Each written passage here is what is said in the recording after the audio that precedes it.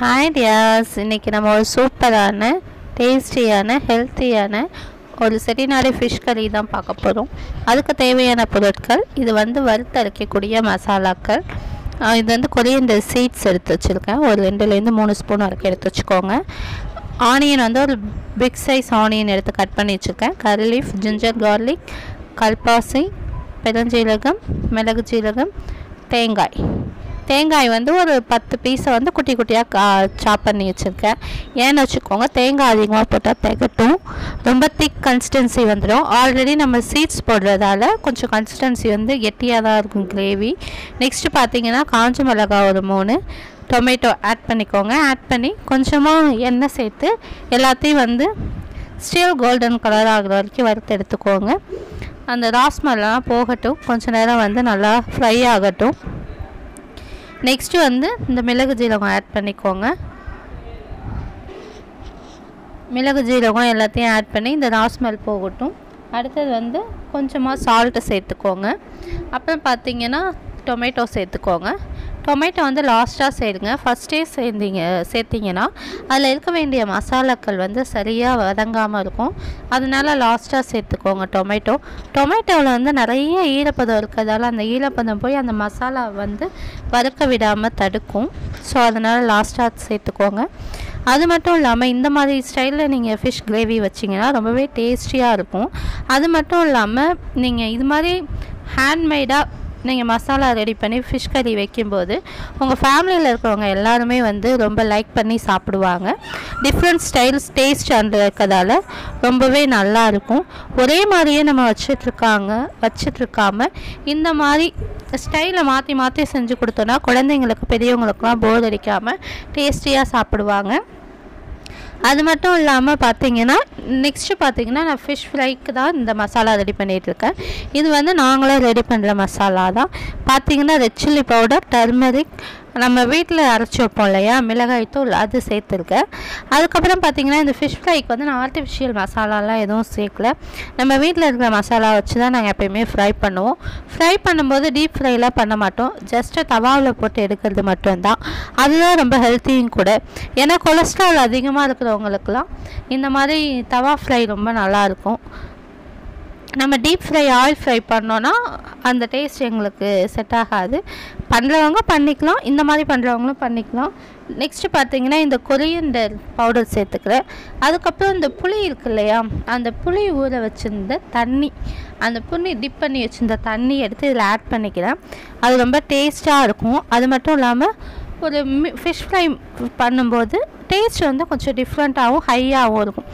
அப்புறம் பார்த்தீங்கன்னா ஒரு மண் சட்டியில் ஒரு ரெண்டுலேருந்து மூணு ஸ்பூன் வரைக்கும் எண்ணெய் ஊற்றிக்கோங்க செட்டிநாடுனாலே பாரம்பரியம் தானேங்க. அதனால தான் இந்த மண் சட்டி நான் எடுத்திருக்கேன். அதில் வந்து ஜீரகம் ப்ளஸ் வெந்தயம் சேர்த்துக்கோங்க. உங்களுக்கு தேவையான குவான்டிட்டியில் சேர்த்துக்கோங்க. இந்த ஸ்டைல் மசாலா செய்யும்போது ரொம்ப நல்லாயிருக்கும் அது மட்டும் இல்லாமல் அந்த கடுகு சாரி இந்த வெந்தயம் வந்து ஃப்ரை ஆகிறதுல தான் அந்த மீன் குழம்புடைய டேஸ்ட் இருக்கும்னு சொல்லுவாங்க. அதனால் இது வந்து ஓரளவுக்கு நல்லா ஃப்ரை ஆகட்டும். கோல்டன் கலராகவும் ஆகக்கூடாது பிளாக் கலராகவும் ஆகக்கூடாது. ஓரளவுக்கு நல்லா ஆனதும் நீங்கள் எடுத்துடலாம். இதை வந்து அடுத்தது ஆனியன் டொமேட்டோ க்ரீன் சில்லி எல்லாத்தையும் போட்டு நல்லா கண்ணாடி மாதிரி வதக்கிக்கோங்க. மீன் குழம்புக்கு வந்து ஒரு செவன்ட்டி ஃபைவ் பர்சன்டேஜ் வந்து ஆனியன் ஃப்ரை ஆனால் போதும். ஹண்ட்ரட் பர்சன்டேஜ் ஆகணும்னு அவசியம் இல்லை. டேஸ்ட்டு நல்லா கொடுக்கும். மண் சட்டிங்கும்போது சீக்கிரம் கொஞ்சம் சூடையில் லேட் ஆனாலும் சீக்கிரம் வந்து வதங்கிடும் ரெடி ஆகிடும் மண் சட்டியோடைய மகத்துவம் என்னென்னா நமக்கு டேஸ்ட் எப்படி இருக்கோ அதே அளவுக்கு கொடுக்குறது. அந்த டேஸ்ட்டை மாற்றக்கூடிய சக்தி அந்த பார்த்திங்கன்னா நம்ம அந்த புளி தண்ணி ரெடி பண்ணுற வரைக்கும் இதில் வந்து வாட்டர் ஊற்றிக்கோங்க எம்டி வாட்டர் ஊற்றி அது கொஞ்சம் நேரம் இந்த மசாலா வந்து ராஸ்மெல் போயிட்டுருக்கட்டும் அதுக்குள்ளே பார்த்தீங்கன்னா இதில் வந்து புளி ப்ளஸ் குழம்பு மிளகாய் தூள் இது ரெண்டுத்தையும் கலந்து ஊற்றிக்கலாம் ஊற்றிட்டு அதே பாத்திரத்தில் அதே பிளேட்டில் என்ன பண்ணுறீங்க கொஞ்சமாக கல்லுப்பு. இது நல்லா மிக்ஸ் பண்ணி விட்டுட்டு உங்கள் இந்த கிரேவிக்கு தேவையான கல்லுப்பு. கல்லுப்பு அதிகமாக போட்டாலும் வந்து அதிகமாகிடும் ஸோ வந்து உங்களுக்கு தேவையான குவான்டிட்டிக்கு போட்டுக்கோங்க. நெக்ஸ்ட்டு பார்த்தீங்கன்னா டர்மரிக் பவுடர் எல்லாத்தையும் ஒன்றா சேர்த்துக்கலாம். சேர்த்ததுக்கு அப்புறமா பார்த்தீங்கன்னா இந்த மீன் மசாலா வந்து நம்ம வீட்டில் ரெடி பண்ணால் தான் ஒன்றும் இல்லை நம்ம குழம்பு மிளகாய் தூள் சேர்க்கும்போது அதில் ரெண்டு மூணு பொருள் எக்ஸ்ட்ரா சேர்த்து தனியாக அரைச்சி வைக்கிறது. அது உங்களுக்கு வேணும்னா கமெண்ட் செக்ஷனில் கமெண்ட் பண்ணுங்கள் நான் அதுக்கு செப்பரேட்டாக வீடியோ எடுத்து போடுறேன். இப்போ வந்து இது எல்லாத்தையும் ஆட் பண்ணி மேலே வந்து கொரியண்டர் பவுடர் அதையும் ஆட் பண்ணி எல்லாத்தையும் மிக்ஸ் பண்ணி திருப்பி அந்த சேர்த்துக்கலாம். அதே கிரேவிலே சேர்த்துக்கலாம். சேர்த்துட்டு இதை நம்ம ஃபுல்லாக மூடிடலாம். இது வந்து ஒரு ஃபைவ் மினிட்ஸ் நல்லா வந்து கொதிக்கட்டும். நெக்ஸ்ட்டு பார்த்தீங்கன்னா நம்ம ஃப்ரை பண்ணுறதுக்கு மசாலாவை மேக்னேட் பண்ணி நம்ம ஃப்ரீசரில் வச்சிடலாம். இப்போ நம்ம அரைச்சோம் இல்லையா மசாலா அதுக்கப்புறம் பார்த்தீங்கன்னா அதில் கொஞ்சம் சின்ன வெங்காயம் ஒரு பச்சை மிளகாய் மிளகு ஜீரகம் சோ சோம்பு இது எல்லாத்தையும் சேர்த்து இந்த ஃபிஷ் கிரேவிக்கு அந்த மசாலா போட்டோம் இல்லையா? அந்த கிரேவி கூட இதில் வந்து ஒரு ஸ்பூன் எடுத்து மிக்ஸ் பண்ணிக்கலாம். அந்த மசாலா கிரேவிக்கு அரைச்சோம் இல்லையா? அதே இதில் இதையும் அரைச்சி இந்த மீனில் போட்டு மிக்ஸ் பண்ணி வச்சிடலாம். இது ஃப்ரீசரில் ஒரு டுவெண்ட்டி மினிட்ஸ் இருக்கட்டும். இப்போ பார்த்தீங்கன்னா நம்ம இந்த அரைச்சி வச்சுருந்தோம் இல்லையா? வறுத்து கூலானதும் நல்லா கிரைண்ட் பண்ணி வச்சுருந்தோம் இல்லையா? அதை வந்து இந்த கிரேவியில் சேர்த்து நல்லா மிக்ஸ் பண்ணிக்கலாம். இது பார்த்தீங்கன்னா உங்களுக்கு வந்து இந்த குழம்பு கன்சிஸ்டன்சிக்கு வராது. கிரேவி கன்சிஸ்டன்சிக்கு தான் வரும். ஏன்னா இதில் திக்னஸ் அதிகமாக இருக்கும். ஸ்ட்ரக்சரும் நல்லா கொடுக்கும். உங்கள் ஃபிஷ் சாப்பிடும்போது ஒரு இனிப்பு காரம் இது எல்லாமே வந்து உங்களுக்கு காரம் வாய்க்க தெரியலனாலும் இந்த ஒரு மாதிரி அப்படியே சுருளன்னு இருக்கும். செட்டிநாடுனாலே நமக்கு காரசாரமான ஒரு சமையல் தான் ஸோ கொஞ்சம் காரம் அதிகமாக இருக்கும். உங்களுக்கு காரம் அதிகமாக இருக்குன்னு தோணுச்சுன்னா நீங்கள் ரெட் சில்லி பவுடர் இல்லைன்னா மிளகாய் தூள் கூட நீங்கள் ரெடியூஸ் பண்ணி போட்டுக்கலாம். இப்போ உங்களுக்கு பார்த்தாலே தெரியும். அந்த கிரேவிக்கு ஒரு நல்ல ஸ்ட்ரெச்சர் கிடச்சிருக்கும். உங்களுக்கு அந்த அந்த பபிள்ஸ் பபிள்ஸாக வருது இல்லையா? அதுலேயே உங்களுக்கு தெரியுது பாருங்கள் இந்த ஸ்டேஜில் வந்து மீன் சேர்த்துக்கலாம். மீன் சேர்க்கும்போது எப்பயுமே ஃபஸ்ட்டு நடுப்பீஸோ இல்லை வயிற்று பகுதியோ போடாதீங்க. ஃபஸ்ட்டு தலைப்பகுதியை போட்டு ஒன்றுலேருந்து ரெண்டு டைம் வந்து நல்லா கொதிக்கட்டும். அதுக்கப்புறம் போ அந்த வயிற்று பகுதியும்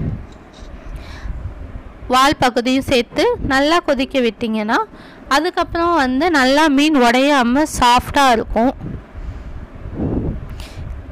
அப்புறம் வந்து இந்த கிரேவியை வந்து மிக்ஸ் பண்ணும்போது இந்த எத்தான ஏதாவது ஒரு ஸ்பூன் வச்சு இல்லை கரண்டி வச்சு மிக்ஸ் பண்ணி விட்டுங்க நெக்ஸ்ட் பார்த்தீங்கன்னா இந்த நடுப்பகுதி.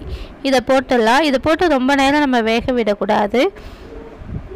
ஏன்னா இது சீக்கிரம் வெந்துடும் மீனை பொறுத்தளவு சாஃப்டாக இருக்கும் இல்லையா? அதனால் ஒரு டென் மினிட்ஸ் நம்ம வந்து மூடி வச்சிடலாம்.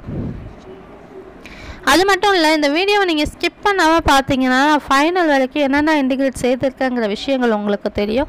நீங்கள் ஸ்கிப் பண்ணீங்கன்னா சரியாக புரியாது.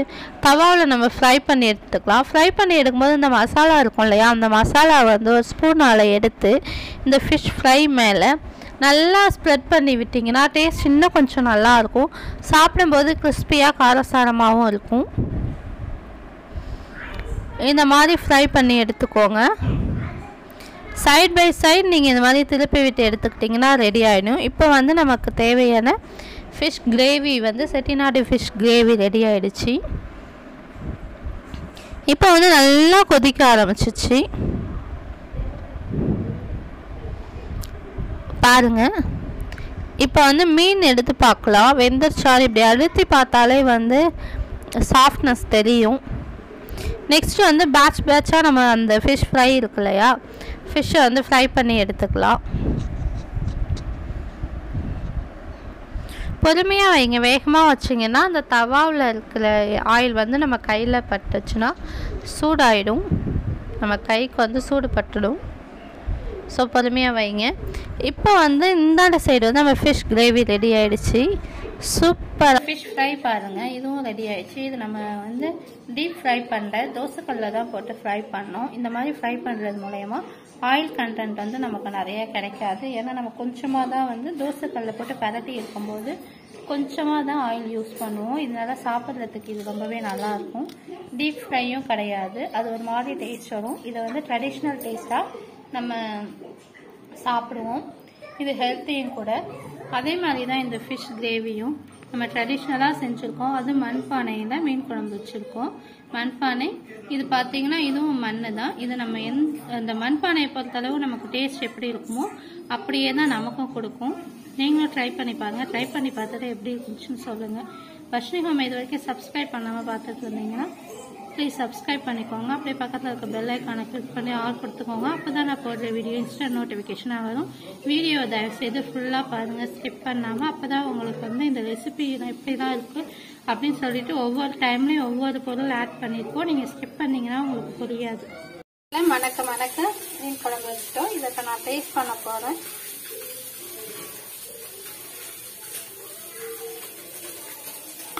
ரொம்ப டேஸ்டாக இருக்கும்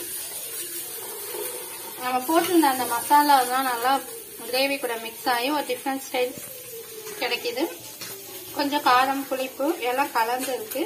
இந்த செட்டிநாடு ஸ்டைல் மீன் குழம்பு நீங்களும் கண்டிப்பாக வீட்டில் ட்ரை பண்ணி பாருங்க. ட்ரை பண்ணி பார்த்துட்டு கண்டிப்பாக எப்படி இருந்துச்சுன்னு சொல்லுங்கள்